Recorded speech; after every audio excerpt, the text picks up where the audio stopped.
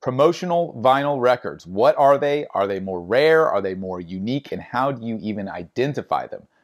We will discuss on this episode of Talking About Records. My name is G.I. Sanders from NTX Vinyl, small chain of independent shops in the Dallas Fort Worth area. If you're not local but you're in the US, you can shop online at ntxvinyl.com. Give us a subscribe here on YouTube.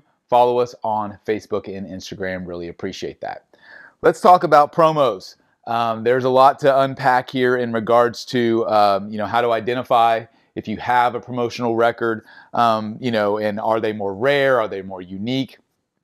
But first and foremost, why do they even exist? Well, if you go back in time, pre-internet, um, and you're a record label, you want to get your album, your artist's album out to the radio stations as soon as possible to get the DJs engaged with that music, right? And so before the album actually comes out in the stores, you want to get them to the DJs. Well, these days that's all done obviously just via digital file, file transfer and it can all be tracked and watermarked to make sure that no one spreads that music around early, right?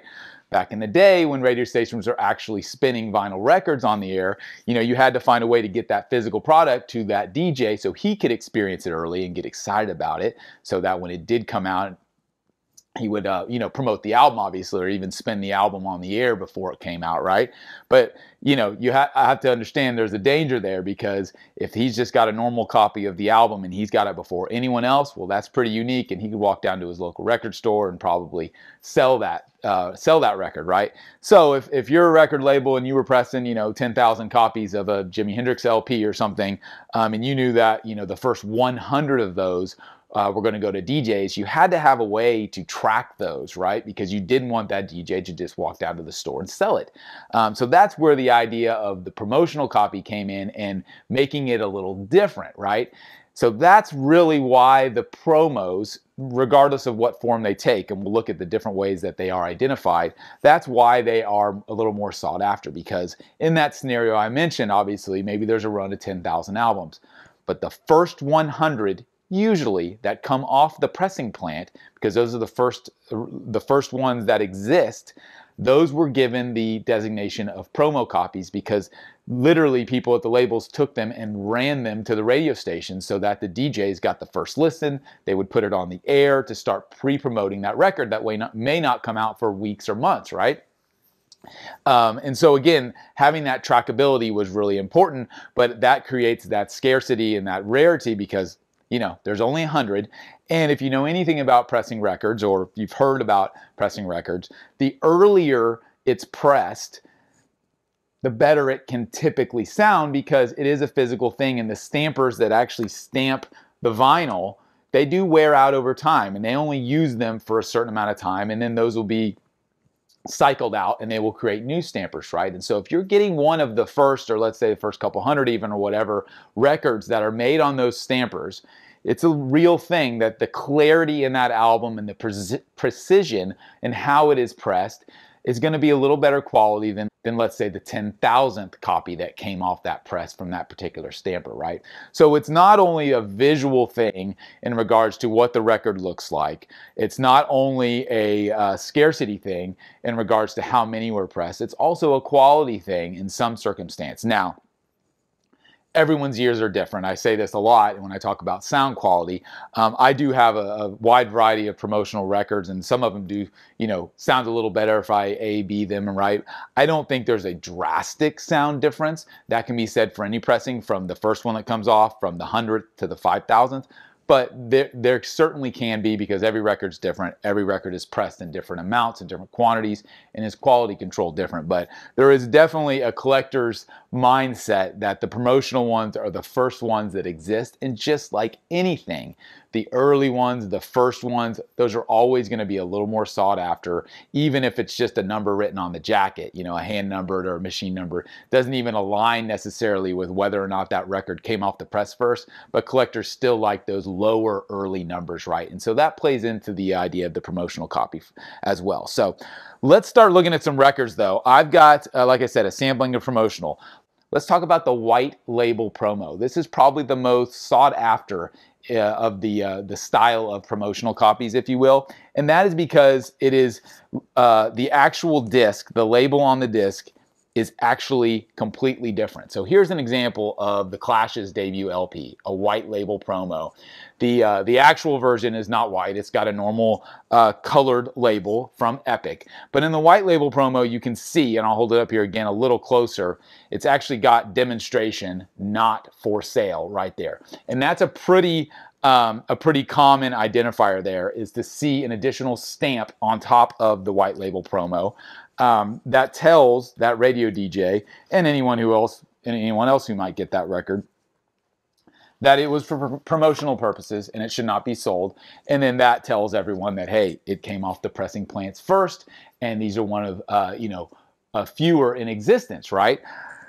So by doing that, by creating that unique white label, obviously it accomplished a lot of things for the uh, for the record label for the artist because it distinguished it. Here's another one from uh, uh, from Queen's Hot Space, featuring Under Pressure. There's another white label promo. This one doesn't doesn't uh, does not designate, you know, not for sale. It just says for promotion use only.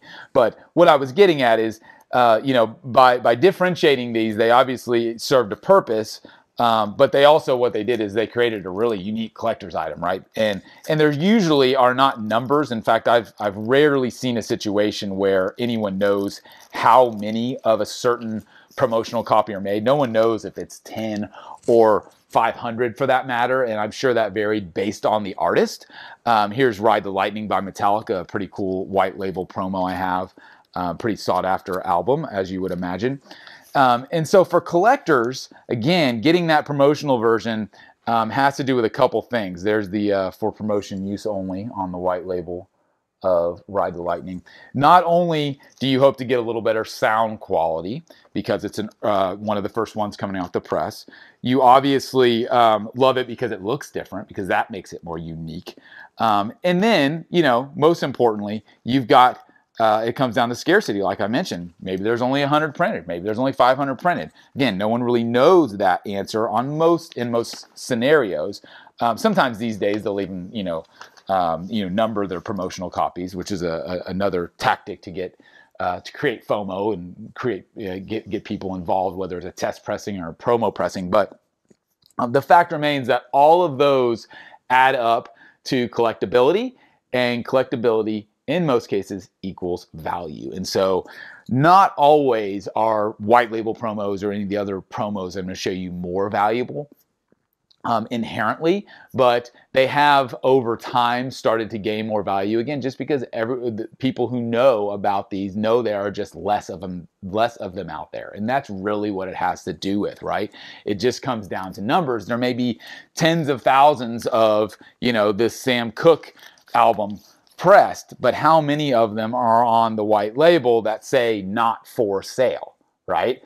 And so if you're a collector, you and, and you're a completist and you're looking for, you know, unique, rare, kind of uh, individualized items, the uh, the promo copies can be very sought after and have gone up in value a lot over the years because collectors know these, uh, you know, the reasoning behind them, right? Here is a really cool one. Uh, this is Marvin Gaye's What's Going On, and I like this one because you can actually see, I'm looking for the side it's on, it actually says DJ copy, not for sale. So that's really cool and tells you exactly what it was for, right? And so again, you know, I think it comes down to those three things. It's like, uh, a little bit better sound quality in some circumstance, certainly lower numbers of them made. And then last but not least is the, you know, the differentiation in the look. There's a, this is U2's uh, Desire single promotional copy, not for sale.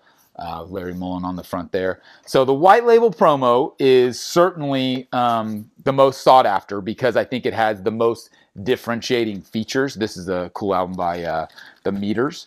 Um, but there are other types of white label promos as well, right? I've got a couple more. I'm sorry. There are other types of promos in addition to the white label promo. Here's one that actually has promotional copy, not for sale, a sticker on the jacket. You don't always see that, um, but sometimes they'll go the extra mile again. They were back in the day. They were just trying to again differentiate these and keep them out of record stores. So white label promos um, are probably the most sought after, like I mentioned. I've got one more to show you, and then I'll get on to some other. This is a really cool white label promo from uh, Willie and the Poor Boys from Creedence. here is uh, like the fantasy label, and it's just got promotional copy written on that one. So got a good variety of the white label promos. Um, they are fun to find. Sometimes you'll find one and um, you know, you get really excited and you think, oh, this, must be really valuable, really rare. And sometimes it just doesn't pan out. It's just kind of a normal copy along with the, the stock copy. Um, but it but it does vary depending on the artist. I would say most of the times the uh, the top tier artists or albums, the promo versions are, are significantly more value. But some of the more common albums, um, if you find a promo, you know, maybe might not make that much of a difference. All right, so let's talk about other ways that promos are designated. You have got let's see. This is what's known, I, I, just call it kind of the track sticker. I'm not sure if that's the official name. These are really cool. Uh, unfortunately, it kind of damages the cover because you got this big sticker on here. But again, does it? Because now it's more unique, right? So if you've got a normal copy of this, you may want to keep this one because it's got the track sticker on it. And it's actually got kind of check boxes on here for uh, someone at the record label to actually check off which songs uh, are the key tracks for the DJs, right? Or the DJs could do it themselves because if you've got a whole stack of records coming in from a record label and you've never heard of any of these bands, you need to know which song is the single. This is the one I need to play on the air, right? Or at least need to take a listen to, see if I like it and play it on the air. So the track list sticker is really cool. I've got a few examples of those. Um, here's another Dr. Feelgood. And then I've got a, uh, a Petty Damn the Torpedoes as well. So not only does this have the track sticker again with the uh, with the check boxes demonstration not for sale. Then you also have another identifier, the gold stamp promo. So moving forward past the white label promo, which I think existed through uh, the late 70s or early 80s, if, uh, if I'm correct, I'm guessing a little bit on that, but uh, labels went to the stamping of albums as opposed to actually producing different types of labels on the disc. So the gold stamp promo um, is pretty common throughout the 80s and even the 90s. I think I've got another uh, another another one of these. I think has the gold stamp. I think it was this Clash. Yeah. So you can check out the gold stamp and you see how similar it is, right? It's very similar. If you hold up um, the Petty, and this clash, you can see it's a pretty similar. And that was literally a machine stamping process. So at the end of the pressing, uh, you know, at the end of the creation of the jackets, before the albums are put in, they probably went through an additional step where they uh, stamped that gold stamp promo in there. Um, so again, just another identifier in another way. So not only the white label promo, but now you have the kind of the track listing, and then you also have the gold stamp promo. So a couple different ways, and a lot of it was just um, you know experimentation from the labels. They were trying to figure out what worked, what was easiest, um, you know what uh, you know probably what was least expensive, honestly, to do. Because again, if you're pressing a whole bunch of one album, and then you just got this small segment over here we need to do something a little different on it, that creates you know a different manufacturing process and pro so they're probably experimenting. I think printing the different labels on the album is probably a little more cumbersome to where when you go just to the jacket and you keep the album itself the same, um, you know, there's less uh, less legwork there. Now, you know, the one thing to keep in mind is on a gold stamp promo or tracklist promo, most of the time it's just a normal label. There's no there's no white label there. Um, so is this worth a lot more, this version of the Torpedoes versus a normal copy? Sometimes you know some again some collectors really like to collect just promos. So to to that person yeah it could be worth more but it's more or less the exact same album. You don't know if this exact copy of Damn the Torpedoes came off the press as number one or number 100,000 right? So there's no uh, there's no way to even guess at that regardless of how many were pressed because this is just a differentiation for the, on the jacket itself. So the album the disc is is pretty much identical the other way that um, labels have designated promos over the years is by simply damaging the album, more or less. So here is an example of a corner cut. There's a couple different ways you can cut an album. This is the corner cut. There's also what's called a notch, where they'll actually take a uh, a device and it punches out a little segment of the album. Those can be designated not only as promos, but also as discount copies. And it depends on the label, it depends on the record store, depends on how the albums were treated and when they came out. But typically, when you see an album that has a very clean corner cut or very, uh, a very, uh, you know, about a quarter inch to a half inch notch through it, that can be a signifier of a promo as well. Not always, because like I mentioned, it can also be an identifier of a discount copy. And what I mean by that is um, records would go out to record stores um, the record didn't sell as well as they'd hope, and you'd have all these extra copies sitting at the record store. So the way that they would discount them is they would notch them out, which would designate them to a different bin with a lower price and essentially, you know, again, damaging the album. So, do those become more collectible? Not in most cases, but again, they are different. They are more unique. To me, I don't really love the corner cuts and the discount cuts. Like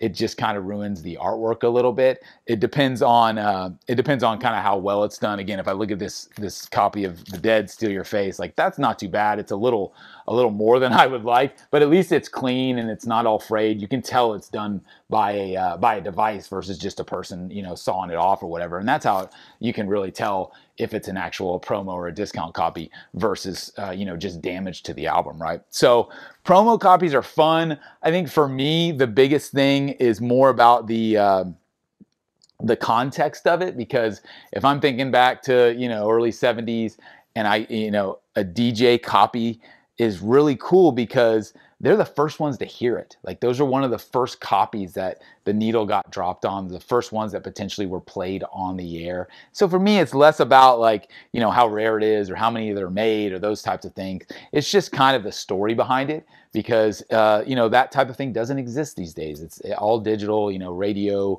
is, uh, you know, barely, barely still surviving as is in, uh, in a terrestrial format. Um, you know, everything's streaming and everything's on demand. And so um, for me, I think it's more about the nostalgia of just thinking back to, um, you know, that radio DJ getting that copy from a label in advance. He's never heard it before. His audience has never heard it before, and he's actually exposing that music to people over the air for the first time, which is obviously the way new music um, was uh, was consumed by people back in the day over the radio. Um, so that that's really what it comes down to for me in regards to promo copies. I'll take some photos of these so you can kind of see the labels close up, especially on the white labels and some of the gold stamps, so you can see. But search your search through your collection, see if you can find any. Sometimes you don't even notice. I've had ones in my collection um, for a while, and I didn't even realize just because I kind of um, you know, shelved the album before I even got to playing it and whatever, and pulled it out and realized it's a promo after the fact, or realized there was a gold stamp on the back of the cover. Sometimes you don't even really realize those things. So now that you kind of know what to look for, hopefully that helps a little bit, especially not only your own collection, but when you're out digging, you're out at a record store. Now you kind of know what to look for, at least when you do see something like a differentiating logo or a stamp or a corner cut. Now you have a little bit of context to know what that is. And, and if you use something like Discogs, usually the uh, promotional copies are differentiated as a different pressing or a different item. So you'll see the white label promo, um, you know, separate from the regular pressings. Uh, the gold stamps and the tracklist stickers usually are not differentiated. Sometimes they are. It just kind of depends how particular people want to get. But again, those uh, those aren't necessarily a different pressing of the album. It's just a, a way that they treated the jacket as opposed to the white label as an actual uh, you know different process where they stuck a completely different sticker on the album. So I love promos. They're fun to collect. They're absolutely fun to find in the wild, uh, regardless if there's extra value or rarity there. I just think they're again they're a different item. And if you're a collector and you uh, you're going through certain artists and you like different versions of their album, it's definitely something to keep an eye out for. So hopefully that was helpful. If you got some cool uh, promos in your collection, I'd love to hear and see them. So let us know um, and really appreciate you tuning in again. I'll pop up some other videos here on the channel. Thank you as always for watching and we will see you again next time on Talking About Records.